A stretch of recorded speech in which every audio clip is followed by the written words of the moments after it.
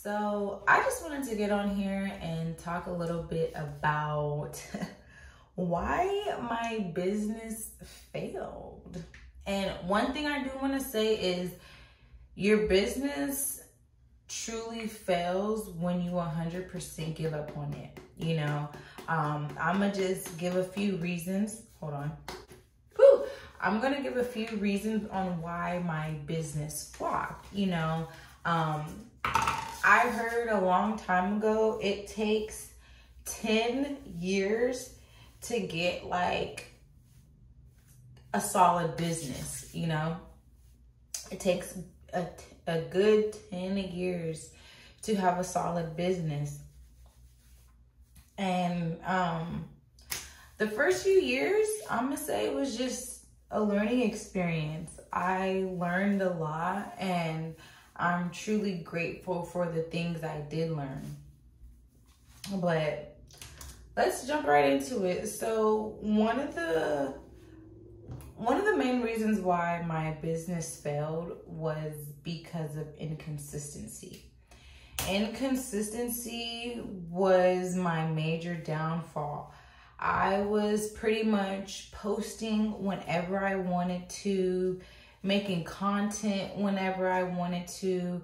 I didn't really have like any structure around my business. I didn't have any structure around my business and I didn't really have like a solid, solid business plan. No, this is not off. Wow.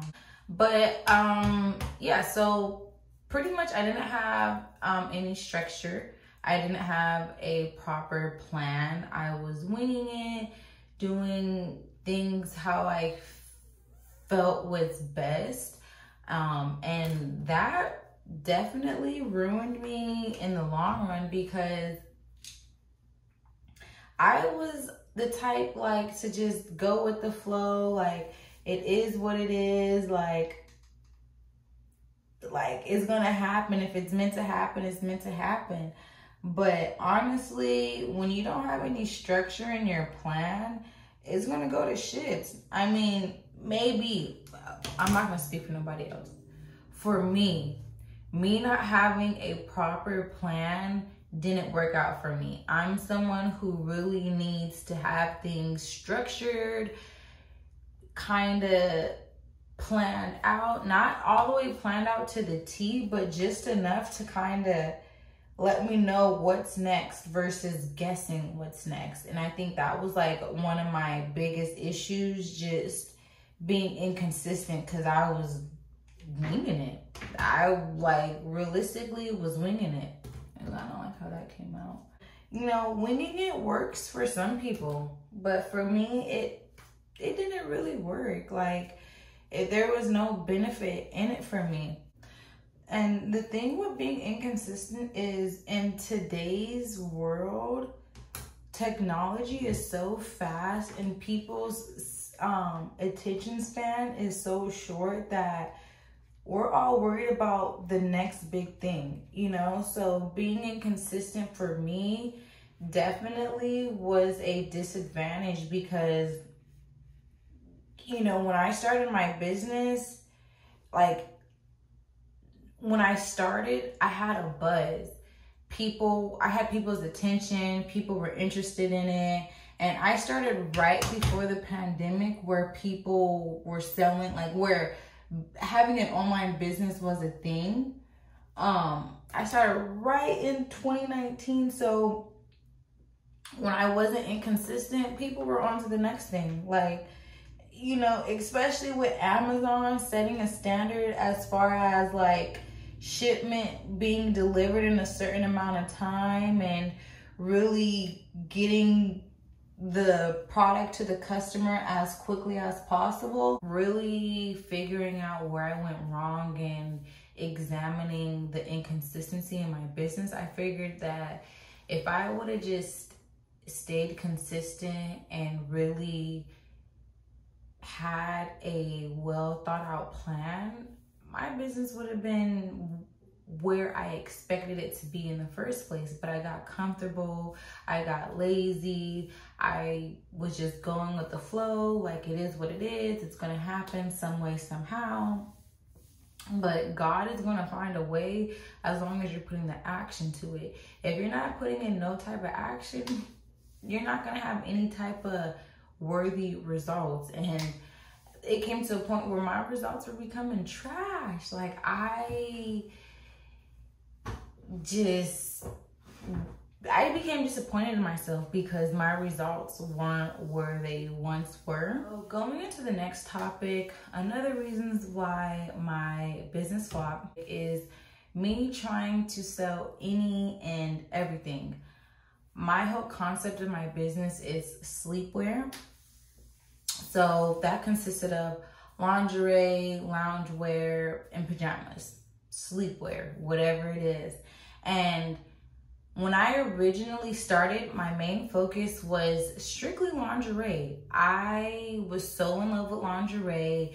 It boosted my feeling. I had like a certain type of confidence when I put on lingerie and I wanted to share it with the world, you know? So that was my main focus when I started my business. But because I felt like I could sell any and everything, I branched off into loungewear and sleepwear, which wasn't a problem. The problem was I lost focus of lingerie and I didn't just put my 100% all into my lingerie.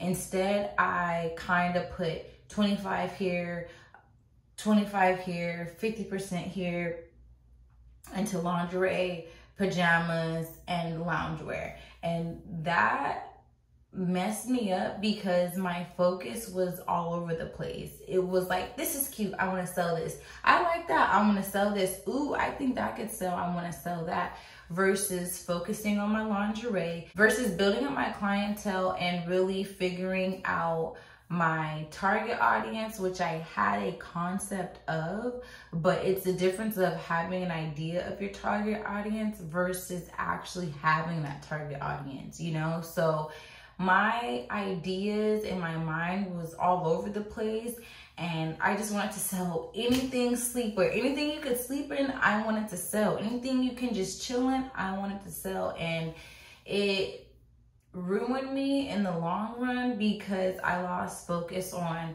my original concept of my brand, which is accepting your body, being comfortable in lingerie and not being not wearing lingerie necessarily for anybody else, but really wearing it for yourself and really accepting your flaws because I once had a really big issue or problem with accepting my body and being comfortable in my being comfortable in my body. But when I put on lingerie or some cute loungewear, whatever it is, I feel good. Like, man, dang, like you're tripping. You look good. You feel good. Like, let's do good and let's be good and let's be a better version of yourself, you know? So that's what faulted me too. Just trying to sell any and everything I could sleepwear. Like if you could sleep in it, I, I was trying to sell it. So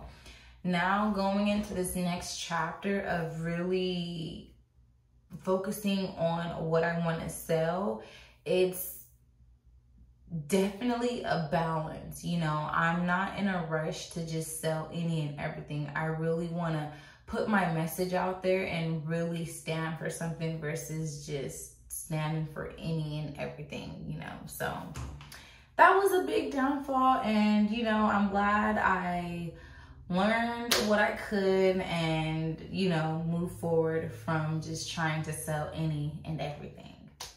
So comparison was another um, downfall of mine. I caught myself constantly comparing to other individuals and just trying to see what they did, how they became successful, what they did and what it took to kind of get to the position they were currently at.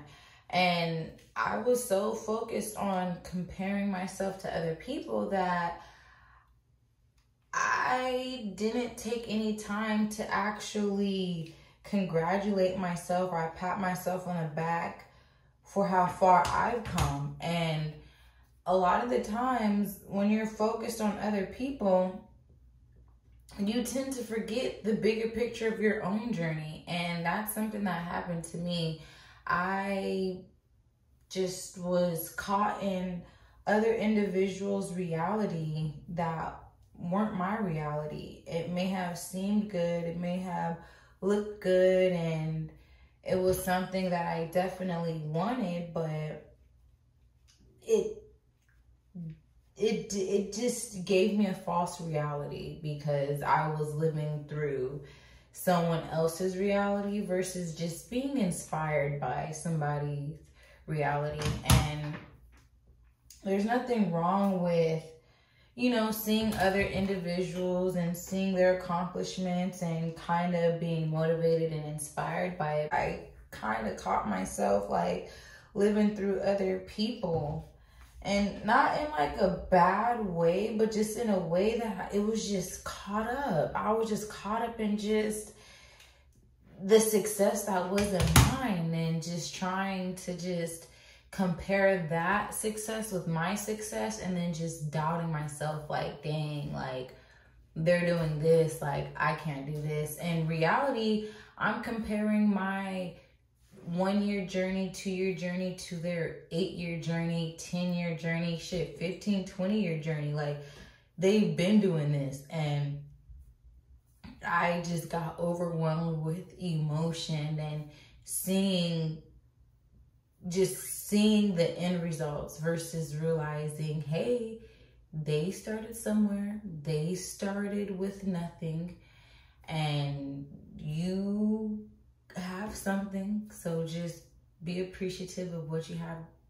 Just be appreciative of what you have and what you have going on versus just trying to fill my happiness with their success if that makes sense. I don't know that I don't know if that makes sense, but yeah, comparison was definitely um a killer of mine. I was just caught up in a reality that wasn't necessarily my reality and that goes on to like my next topic with doubt. I started doubting myself really, really bad. Like, I just of course, that came with other people's success and then comparing their success with where I was at, and then just saying, just telling myself, like, I don't have what it takes, or you don't have this. And in reality, like, for what I learned and what I was doing, like, I should, like, I should have been a lot more happy because I honestly accomplished a lot with just learning with little to no resources and discovering a own path of mine and in, in my own journey.